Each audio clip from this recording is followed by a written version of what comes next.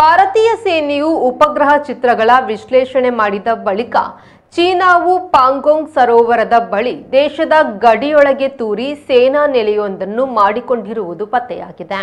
ಗಡಿ ಹತೋಟಿ ರೇಖೆಯನ್ನು ಮೀರಿ ಚೀನಾ ತನ್ನ ಸೇನಾ ನೆಲೆ ಸೀಮೆ ದಾಟಿ ವಿಸ್ತರಿಸಿಕೊಂಡಿರುವುದು ಇದರಿಂದ ಪತ್ತೆಯಾಗಿದೆ. ಲಡಾಖ್ ಕಡಿಯ ಸರೋವರದ ಬಳಿ ಚೀನಾ ನಿರ್ಮಿಸಿರುವ ಸೇತುವೆಯಿಂದ ಹದಿನೈದು ಕಿಲೋಮೀಟರ್ ಮೂಡಣಕ್ಕೆ ಈ ಚೀನಾದ ಗಡಿ ತಂಟೆ ಕಂಡುಬಂದಿದೆ. ಗಡಿಯಿಂದ ಮೂವತ್ತ ಆರು ಕಿಲೋಮೀಟರ್ ಒಳಕ್ಕೂ ಈ ಅಕ್ರಮ ಕಟ್ಟುಗೆಗಳು ಕಂಡುಬಂದಿರುವುದಾಗಿ ಹೇಳಲಾಗಿದೆ. ಭಾರತೀಯ ಸೇನಾ ವರದಿಯ ಪ್ರಕಾರ ಅದರಲ್ಲಿ ಎಪ್ಪತ್ತು ಕಾಯಂ ಕಟ್ಟುಗೆಗಳಿವೆ.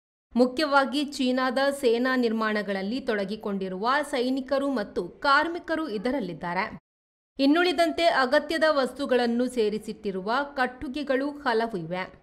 ಎರಡು ಸಾವಿರದ ಐದರಲ್ಲಿ ಭಾರತ ಚೀನಾ ಈ ಬಗೆಗೆ ಒಂದು ಒಪ್ಪಂದಕ್ಕೆ ಬಂದಿದ್ದವಾದರೂ ಚೀನಾ ಆ ಒಪ್ಪಂದವನ್ನು ಮುರಿದಿದೆ ಎಂದು ಭಾರತೀಯ ಸೇನೆಯು ಹೇಳಿದೆ.